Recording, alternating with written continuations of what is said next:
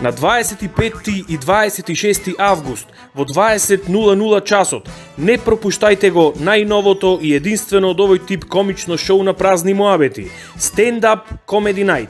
Хумор каков досега не сте виделе. Ние ќе ве насмееме, а вие ќе ни помогнете да обстоиме.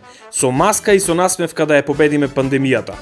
Музеј Битола, Пацио, Влезници може да си набавите еден час пред почетокот на представата или да си резервирате на нашата Facebook страна по цена од 150 денари. Ве очекуваме!